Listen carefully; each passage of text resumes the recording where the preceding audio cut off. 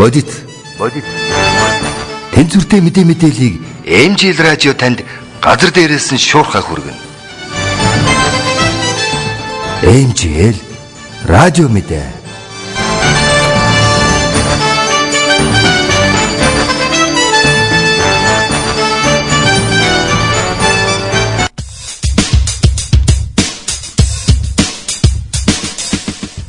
Сайн байцгаана уу? Эмжил радио таавханд 17 дугаар жарны галзууруулагч мэх модон хонь жил буюу 2015 оны 4 дугаар сарын 10-ны өдрийн энэ цагийн мэдээ хүргэхэд бэлэн боллоо. Дотоод мэдээ. Манаас 4 жилийн дараач эрчим хүчний хараат байдлаас гарч чадахгүй. Өнгөрөгч 2014 онд Монгол Улсын дулааны цахилгаан станцууд нийтээ 5392 сая кВт цаг цахилгаан үйлдвэрлэж, импортоор 1396 сая кВт цахилгаан эрчим хүч худалдан авчээ. Дугайлбал цахилгаан эрчим хүчнийхээ нийт хэрэглээний 79%-ийг дотооддоо үйлдвэрлэж үлдсэн хувийг бүгд наримтах хятад ард улс болон Оросын холбооносоор импортоор авсан байна. Харин өөрийн 4 жилд эрчим хүчний хараат байдлаас гарч чадахгүй гэж эрчим хүчний дэд сайд Пүрбаатар ярьлаа. Одоо нэг дөрвөн төсөл явдлаа шүү дээ. Эгийн гол 5 дугаар цахилгаан станц, Багнуурын цахилгаан станц, тэгээд энэ Тэц 3 өргөтгөл гэсэн. Энэ дөрв маань нэгэн зэрэг хөдөлж байгаа. Тэгэхээр одоо ерөнхийдөө ийм том төслүүд нэг 4 жил одоо доод хугацаанд ийм л байдаг л да. Хэвийн явлаа гэхэд тэгэхээр одоо нэг бид бол 4 жилийн дараагаас бол эрчим хүчний хараат байдлаасаа гарна л гэж ингэж ойлгох хэрэгтэй. Дунд хугацаанд бол ингээд мега төслүүд явчихна тийм үү. А ойрын үед бол одоо жишээ нь Эрдэнэтийн дулааны станцыг 50 мегаваттаар өргөдөхийг гэсэн 35 мегаваттаар техник эдийн засгийн үндэслэл гарсан. Ахиж бид одоо 50 мегаватт болгож өргөдгөө гэсэн ийм байдлаар төсөл явж байгаа. Хоёрдугаарт энэ Эрдэнэтийн станц өөр хамгийн их алдагдaltaй ийм станц. Энийний алдагдал нь буураад ашигтай ажиллах. За тэр эрчим хүчний үн терапиг нэмэгдүүлээс гадна бид бас техникийн шинжилгээ өөрийнхөө өртгийг бууруулах энэ тал дээр авч байгаа арга хэмжээтэй. Манай улсын цахилгаан эрчим хүчний хэрэглээ жилдээ 7-оос 10% өсөж байна. Цаашид эрэлт хэрэгцээ жилээс жилд нэмэгдэх төлөвтэй байгаа ч. Тиймээсээ эрчим хүчний томоохон их өсвөр бий болгох төслүүдийг хурдан хугацаанд хэрэгжүүлэх шаардлага тулгараад байгаа юм байна. Дараагийн мэдээ. Үндэсний бүхий дүрмд өөрчлөлт хийх шаардлагатай хэмээн үзжээ. Монгол үндэсний бүхний холбооны 25 жилийн энэ сарын 14-нд тохиож байгаа юм байна. Энэ түүх тоогохтон тус холбооноос эрдэм шинжилгээний баг хурал зохион байгуулжээ. Тусварлаар Монгол үндэсний бүхний цаашдын хөгжил шинжилэлээ дүрмийн өөрчлөлтүүд хийгдэх байсан мэхүүдийг сэргээх залуухай үеэ бэлдэх зэрэг олон асуудлыг хөндөж ярилцаж санал бодлоо солилцож байна. Энэ талаар Монгол үндэсний бүхний холбооны тэргүүн Нямдурж ярьлаа одоо бүх судлал гэж юм төв байгаа. А цаашдаа бол Монголын үндэсний өх холбооны бүх судлалыг түүхийн шинжлэх ухаан гэдэг шиг бие даасан шинжлэх ухаан болгож олон эрдэмтэн одоо энэ чиглэлээр төрүүлэх юм гол ажлыг бол энээс хойш хон жилүүдэд хийх ёстой. За энэний үүдэл болгож бол бид нар 1900 бүх холбооны 15 жил байгаас эхлээд 5 одоо гөрөглөлийн дотомдоо бол энэ эрдэм шинжилгээний хурлах хийж илтгэлүүдийн нэгтгэн одоо ном болон хэвлүүлж байгаа. За энэ удаа бол яг 25 жилийн хугацаанд бол хийсэн ажлын тодорхой зүйлд бол шинжлэх ухааны дүгнэлт өгүүлэх нөгөө талаас Монгол их судлал хөндөх ёстой асуудлуудын талаар хов эрдэмтдийн бол санал бодол хов эрдэмтдийн илтгэлийг сонсох юм ажиллагаа явуулж байна. За та нар одоо бас өөрснөө харж байгаа бох жишээлбэл одоо сая бол Адиа хүүгийн бол илтгэл тавигдлаа. Энэ бол Монголын үндэсний өх холбооны дөрөв мэхийн одоо харилцан уялдааг судалсан ийм судалгаа байна. Энэ бол маш одоо цаашаа явах ёстой жишээлбэл хөндөх ёстой асуудал байна л да. За энэ судалгаагаар бол юу харуулж байна вөхөр жишээлбэл 5 одоо байрлал барьцнаас бол одоогийн байрлалд явагдаж байгаа. Тэгэхээр энэ 5 барьц байрлалд ямар мэх гэж байна гэдэг судалсан байна. Энэ маш сонирхолтой. Дээр нь энэ 5 барьц байрлалтай холбогдуулаад ямар мэх огт хийгдэхгүй байна гэдгийг гаргаж ийн. Энэ маш ач холбогдолтой. За дээр нь бол одоо энэ 5 барьц байрлал бол жишээлбэл одоо хүмүүсийг шөмжилдэг хаялц барьц бол энэ 5 барьц барилт нийт барилт болж байгаа нийт барилдааны 9.6% нь хийгдэж байна гэсэн юм шинжлэх ухааны дүгнэлт гарч ийн л да. Тэгэхээр манайхан ч бол одоо ингээд Монгол өхийн 256 бүх барилт бол 255 барилдаан болдог. Тэгэхээр тэр 255 барилдаан бүгд нь одоо хаялц барьцнаас шийдэгдэж байгаа юм шиг юм одоо буруу ташаа ойлголт явдаг хэвлэл мэдээлэл ингээд сурчилддаг. Тэгэхээр шинжлэх ухааны судалгаа хийгээд үзэхээр тэр хаялц барьц бол нийт барилдаа 9.6% л гарч байгаа юм байна. А тэгээд цаашдаа одоо 9.6% гарч байгаа зүйлийг бол юу гэж хөлөөн зөвшөөрөх вэ гэвэл хэрв одоо цаг хугацаа үнэтэй нь үний юм бол тодорхой цаг хугацааны дотор Монгол өхийн барилдааныг дуусгах шаардлагатай юм бол одоо хаялц барьцыг бариулж барилдуулахаас өөр одоо оновчтой шийдэл байхгүй нэ гэсэн дүгнэлтийг хийж л энэ судлаач. Учир шалтгааны нь бол их тодорхой ярьж байгаа. Тэгэхээр танахаас энэ учир шалтгааныг хүмүүст ойлгуулж өгөөрэй. Манайх барилдаанд зэрэглэлтэй. Нэгдүгээр зэрэглэлийн барилдаан бол Чансаа өндөр 128 бүхэн барилдаан хийж байгаа. Энэ бол Монгол улсын ерөнхийлөгчийн ивэл дор зохиогддог Чингис хааны төрсөн өдөр Монголын бахархлын өдрөөр хийж байгаа ийм одоо барилдаан байгаа. Энэ 128 бүхэн барилдаан жилдээ 2 удаа явна. Энэ өндөр чансаа бүхэн барилдаан. За энэний дараагийн ирэмбийн барилдаан бол цагаан сар дөрөв уулын гişиг барилдаан баг. Хүнд итгэлийн энэ бол өөрөө бол хүнд итгэлийн барилдаан. Энэ хүнд итгэлийн барилдаанд бол 256 бүх барилж байгаа. За энэ дараагийн ангиллын барилдаан бол нэрмжит барилдаанууд гэж байна. За энэ нэрмжит барилдаанд бол хүнд итгэлийн зэрэглэлээр 3-д орж байгаа учраас 256-аас 100 тонны бүх барилдуулах ёстой. 256-аас 100 тонны барилдах хамгийн боломжит хувь бол 224. Ягаад бол 224 бүхэд 15 бүх үлдээд нэг нь хийлдэг. Тэгээд тэр хийлсэн бүхийн дараа бол тэгш тооны бүх үзээд шивгийн одоо бөхчүүд бол тэгшэрч явдаг 256 да хамгийн ойрхон тоо байгаа юм л да. Энэ утгаараа бол энэ одоо барилдааныг бол бид нар 224 өрхийж байгаа. Түүнээс бол хин нэг хүнийг одоо энэ бусдын муугар бичдэг гоц мөргүүлэх гэсэн ийм зорилго байхгүй. Ягаад гэвэл хин тэнд очиж гоц мөрөх.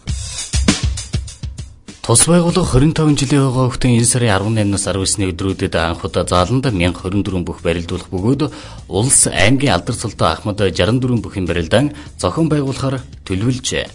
Мөн маргааш цэцэрлэгийн насны 256 хүүхдийн барилдаан улсын цолтой бөхчүүдийн барилдаан болохоос гадна хүчит бөхчүүд өөрсдөө урлагийн тоглолт хийх юм байна.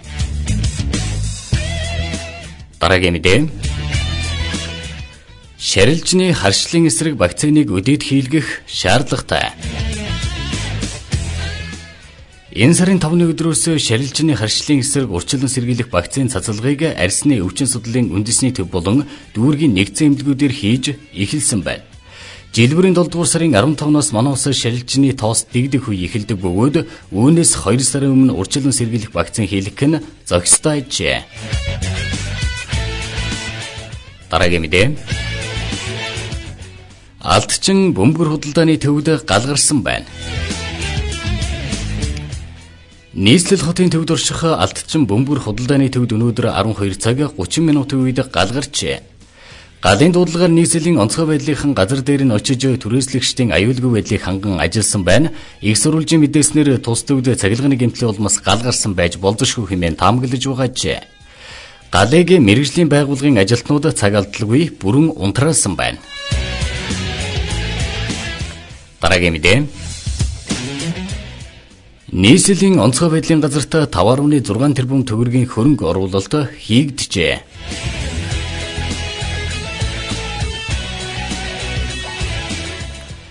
Нийслэлийн засаг даргуугад Улаанбаатарын захирагч Батүйл нийслэлийн онцгой байдлын газрын үйл ажиллагаа аврах галуунтрах ажиллагааны багаж техник хэрэгслийг үзэж танилцсан байна.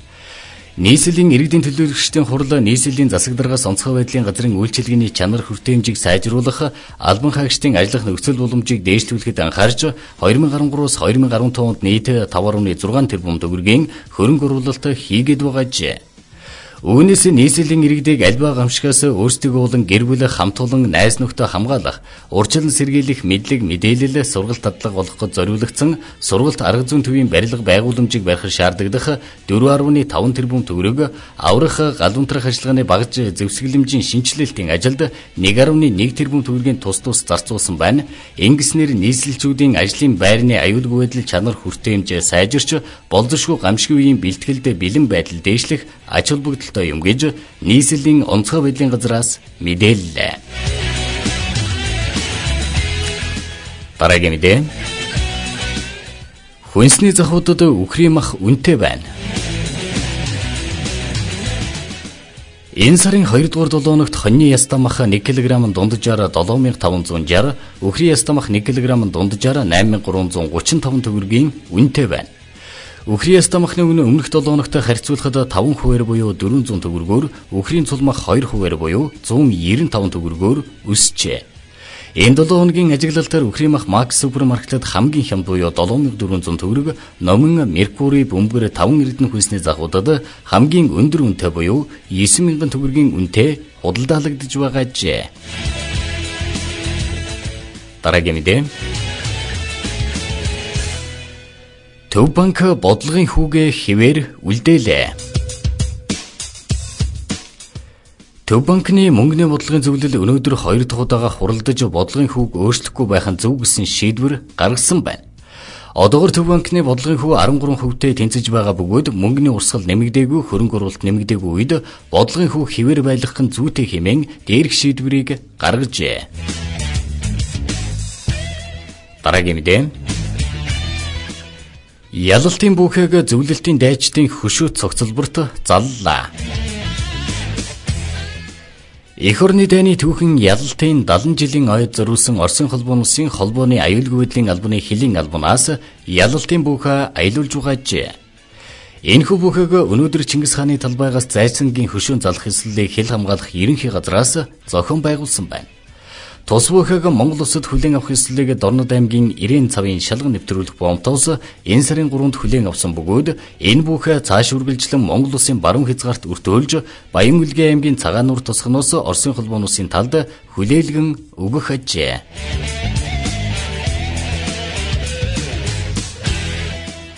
Гадаад мэдээ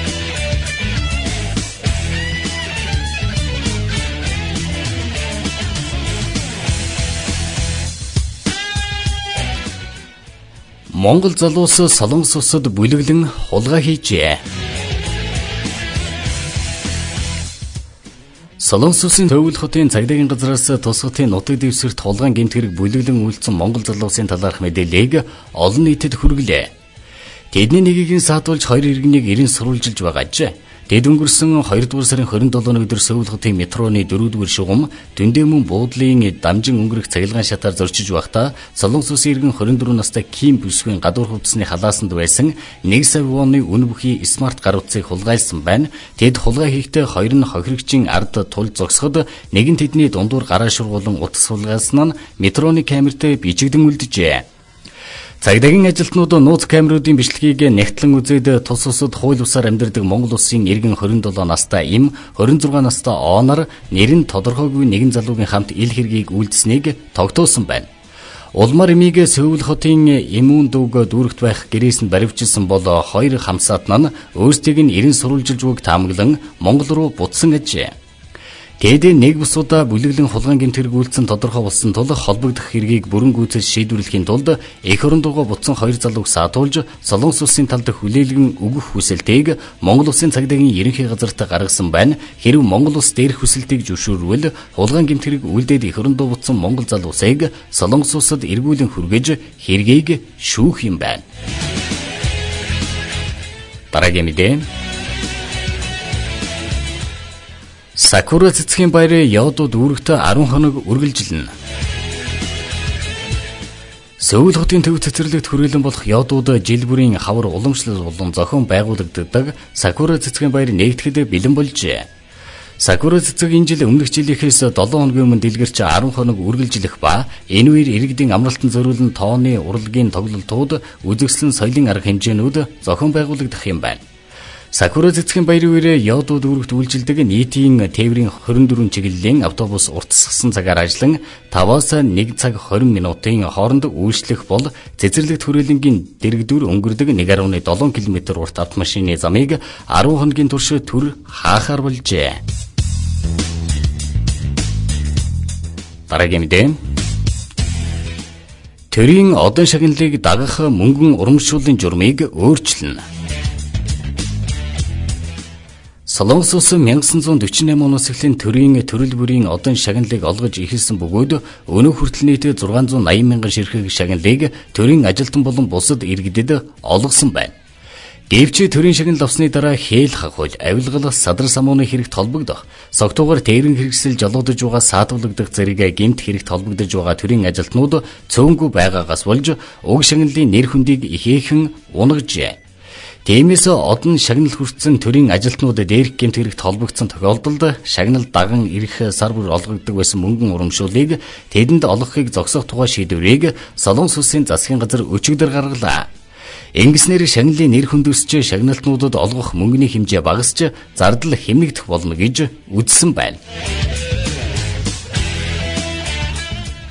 Валютын ханшийн мэдээ Монгол өнгөний өнөөдөр ханшаар 1 долларыг 1981 төгрөгөөр худалдан авч 1991 төгрөгөөр худалдаж байна.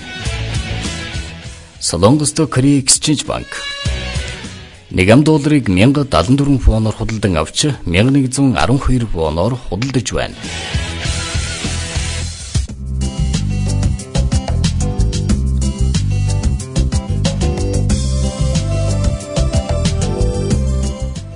Цагаагаар мэдээ.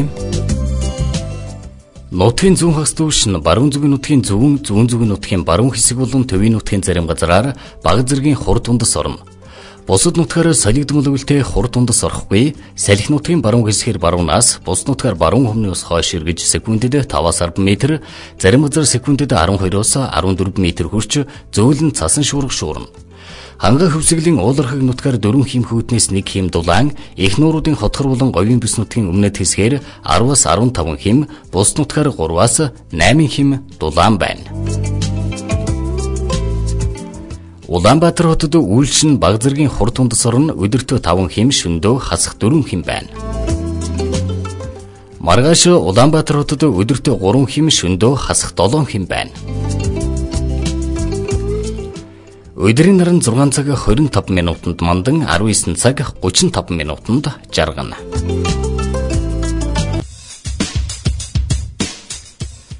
Та бүхэндээ MJL радио Цэгком сайт дээр нийтлэгдсэн мэдээ мэдээллүүдээс танилцууллаа. MJL радио мэдээний алба харилцагчид Солонгост тэг 778 19 1941 Монголд 77 1 19 41 мэдээг уншсан бат учрын галсан дувтан. Энэ цагийн мэдээллийн хөтөлбөртөө хамтарч ажилласан Panda Design студ